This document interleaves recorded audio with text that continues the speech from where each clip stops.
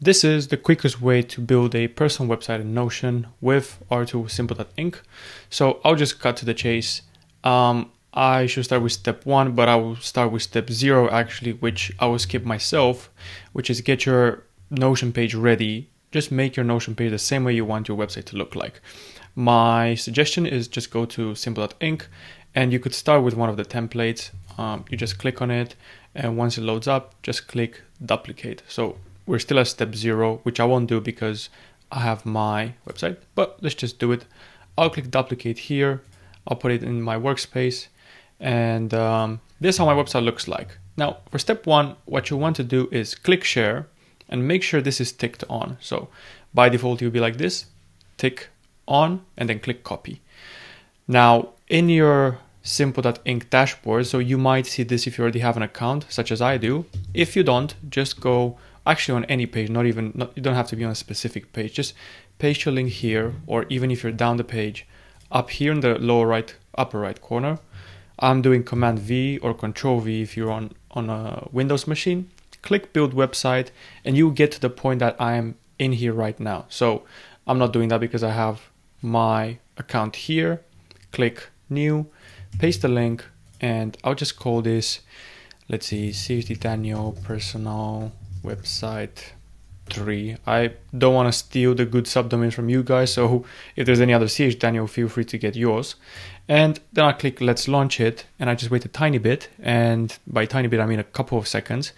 And here we are. The website is live uh, on this very subdomain that I've chosen right here. You can change that. I'll get to that in a second. But let's see, loading and here we are. This is my website now. It's on CHD Daniel dash person dash blah blah blah. But let's say website three, I've changed my mind. I don't actually want that. I'm gonna go to site customization, domain. And by the way, we're already done by this point. But right now, what I'm gonna do is explore and walk you a bit more through what goes under the hood and what other things you can do. So I'm gonna change to website one. But hold on a second, I've changed that but I have a custom domain. Let's say I, own chdaniel.com, which I do. Uh, for that, you will need a paid plan, so you will need to upgrade to one of our paid plans. But if you're looking, if you're not looking to pay anyone anything right now, you can just stick to your free um, simple.ink subdomain, and you can change that and see whether you're happy with that. All right, so I'm right here. I'm on dash website one because I've changed that. Let's see what else can we do. Um, once you've built your website, let's see, we're looking at title and this icon right here. What you can do is in your create.simple.ink, in your simple.ink dashboard, you want to go to site customization, site settings. Now I'm already here. Um, what we'll do at a later point is we'll automatically, we're working on this at this very second. So, uh, we'll automatically copy the title of your Notion page into the title of your website. Um, this is done in the background, so expect this to be out by the time you have used Simple Ink, I hope. I mean, I'm pretty certain, I don't just hope. And for site description, um, let's see, do I want this? This is what would appear in, in, uh, in search engines right under your name, under the big title. So uh, this is CH Daniels website. Feel free to look around. Good. That's it. Um, let me just save this before I go forward. Let's see, favicon and preview image for social media. Now, I won't be doing a preview image, but favicon is what you have right here. So um, I'll just, let's take this quick screenshot. Good. Oops. I'll be using this as a favicon just for the sake of this video. Choose file, choose a local file. Right, and in here on the desktop, I have this now, once I click confirm changes, I should just wait a tiny, tiny bit and this should, uh, in a few minutes, there we go, it's already up.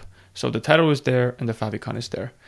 What else you can do? Well, sky is the limit. If you know how to code, you can make use of that as well. If not, no problem. We're making simpler things so that you can build beautiful no-code websites in, I would say minutes, but honestly, it's been seconds this time. I guess I should say minutes if you have a fantastically complex website, but that is rarely the case. Um, what, what you can do now is uh, go nuts, go crazy on the Notion page. So the beautiful thing is if I say, let's just say copyright ch Daniel 2022. If I make a few changes on the Notion page, whoops, no, not this. Let me just do refresh. There we go. Sorry for messing up the keyboard shortcuts. Every change I make on the Notion page is almost very close to instantly applied to the live website. So here we are. This is the shortest and fastest way to build your personal website. Um, as time goes by, we'll keep adding more features. And not only that, we'll, we'll start adding themes. So maybe you like the way Notion looks like, but there's more to it. You can change the layout or change only tiny things, which we will have made for you already. So you just have to select a theme, apply it to your website, and then just change the the, the layout. I mean, not every month, maybe every day if you feel like it, every hour if you feel like it, whatever. So, Notion themes for the websites, and uh, yeah, keep in touch with us as we keep adding more features. Thanks for checking this out. And uh, let me know in the comments below what questions you have about building a personal website with Notion. I'll be happy to jump in and uh, sort you out with, with an answer if I have it. If not, well, at least the conversation is worth having. Cheers.